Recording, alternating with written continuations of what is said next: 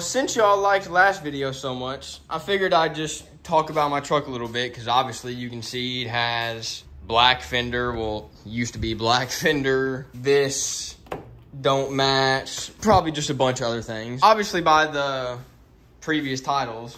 It's a 1993 four-wheel drive, 1500, teal and beige two-tone, pretty rare color combo, not like super rare, but definitely one of the not as common color combinations. Got a Chevy 350 under the power barn, 113,000 original miles.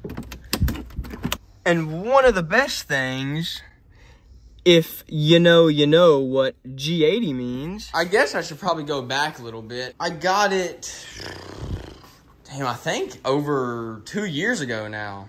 Went all the way to the worst dealership ever in Princeton, Kentucky. That's a whole nother story that I guess I'll tell right now. Well, I guess I'll just start with simple stuff first. Game over car care, Matthew, you know what I'm saying?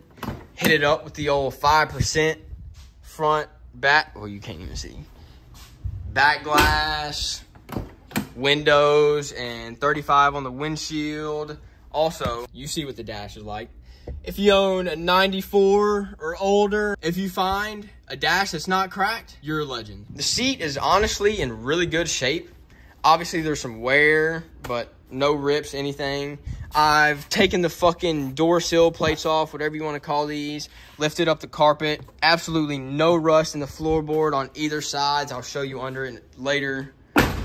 Um, the only real place there's rust on this truck and keep in mind it is from Kentucky, is the driver cab corner, rockers, completely fine, no rust on the rockers at all.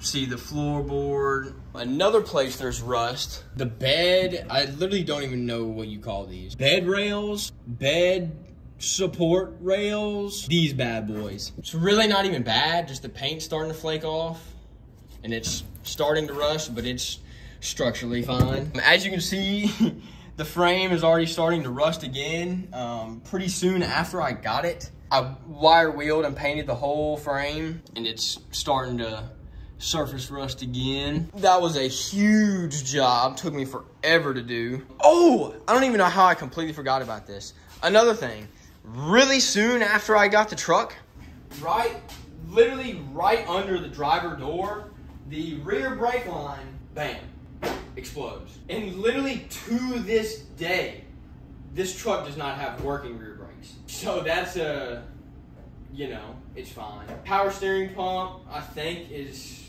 I mean, it could last another year, two years, five years, but it's starting to make a little bit of noise.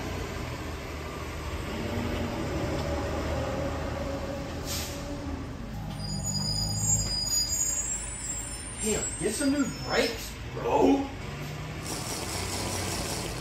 Oh yeah, I didn't even talk about the, the truck was wrecked.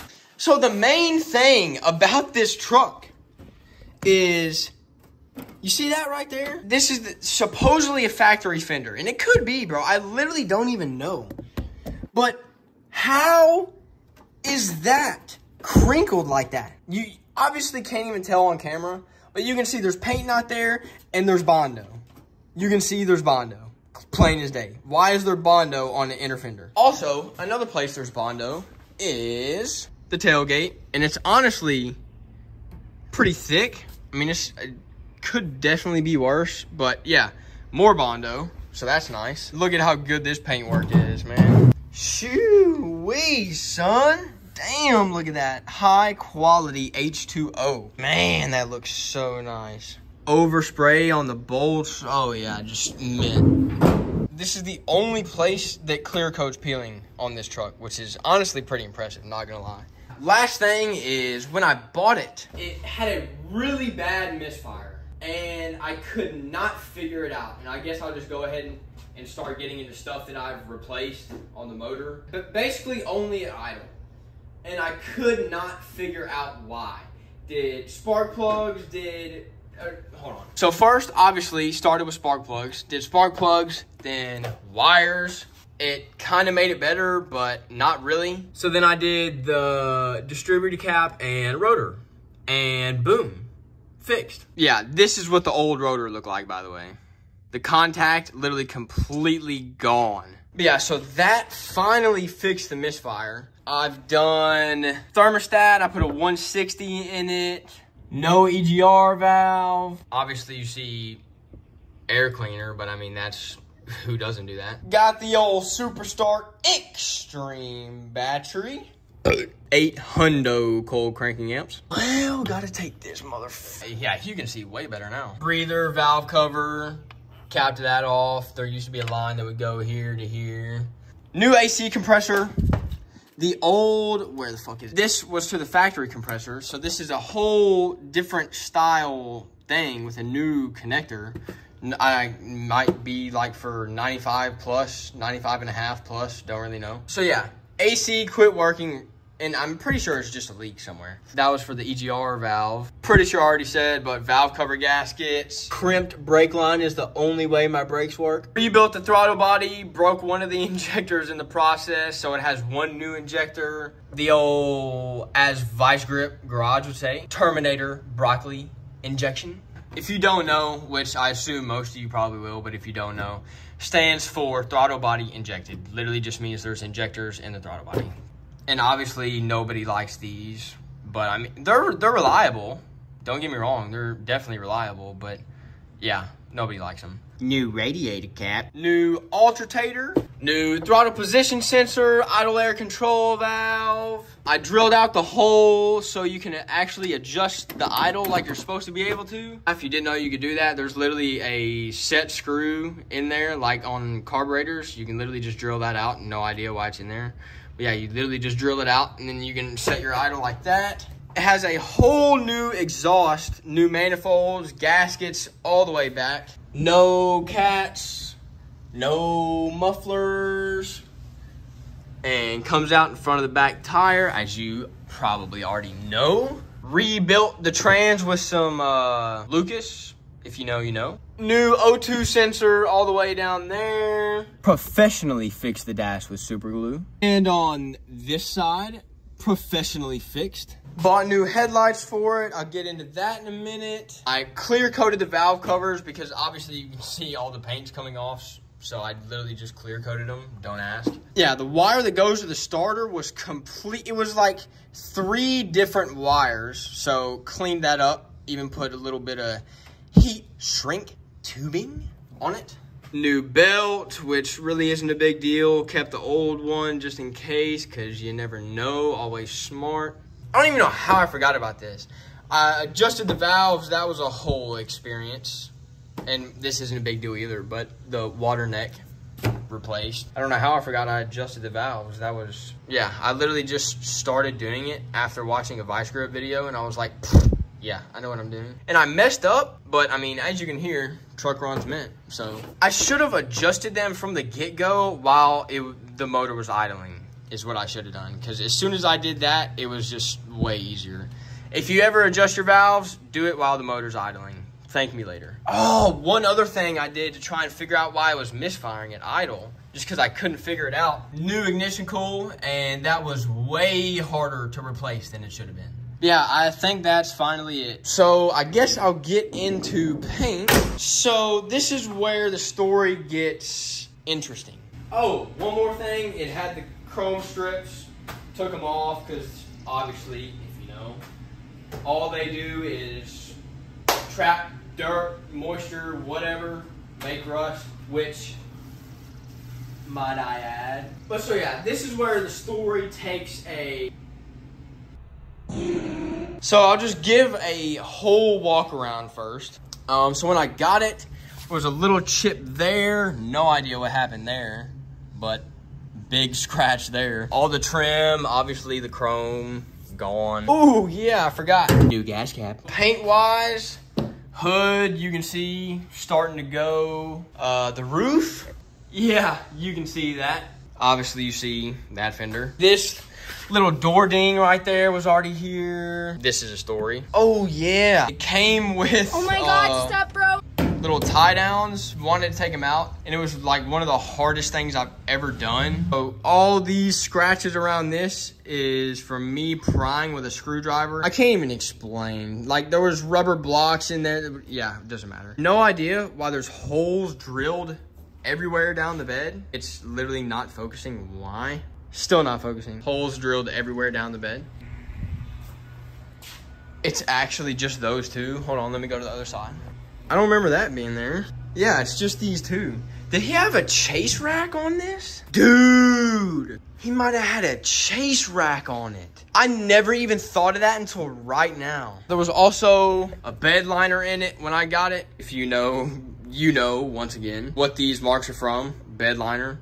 Wanted to take them out because the only thing that would happen is these scratches would keep getting worse and bigger and rust and yeah. This is where the story, like I said, takes a As soon as I get headlights for this truck, wreck.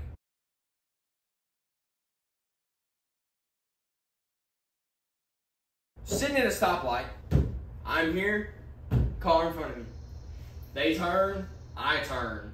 And there's a road right here that you can turn on that you can turn right to that goes to Waffle House, hotels, gas station, whatever, doesn't even matter. We both turn right, we're both behind each other, and then he turns again. Obviously, I'm going straight.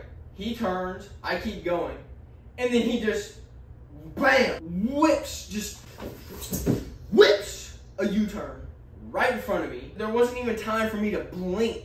Bam. I was probably going like 25, 30 max. Cause I mean, we literally just turned from a red light.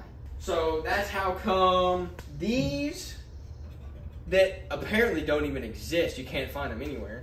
Basically, it just makes the fender look like it continues. Like square bodies don't have that plastic piece. The fender, the metal of the fender just goes down. Like, what is in my eye? The metal of the fender just goes down. I don't know. Like, did they save a fucking dollar doing that? Like, wreck is why this fender's here, why this little valence plastic piece is black. As you can see how terrible of a job. I mean, drip, not even even there. Yeah, how how much of a perfect job I did clear coating this fender. Once again, don't ask me why I clear coated it instead of painting it. Literally don't ask. I have no idea. Because it looks badass, that's why. And this is how I found out it was not original paint. As you can see right here, if my camera will focus worth anything, you can see a clear line right here where there's new clear coat. So not original paint, at least it's been re-clear coated. When I found out it wasn't original paint, it was just like a moment, pretty much. And now this is gonna stick out forever again. But yeah, another thing I did is I wanted the smooth bumper, right?